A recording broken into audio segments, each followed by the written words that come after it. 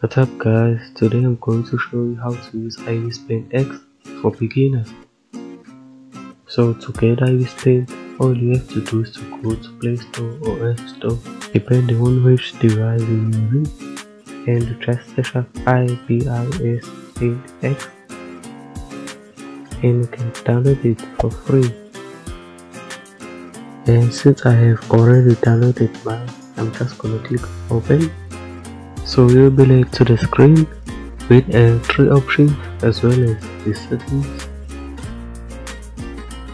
So all you have to do is to click my gallery at first there will be no artwork in the gallery all of the artwork you make will go here. First tap this plus button to add an artwork just note that the higher the canvas size the problem may be. So maybe choose the smaller canvas size. So I'm just gonna use the custom made canvas. This is the main screen where you will create your artwork.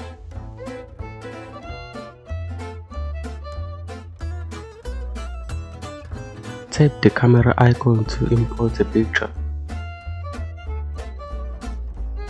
Also, don't forget to like my video and subscribe to my channel.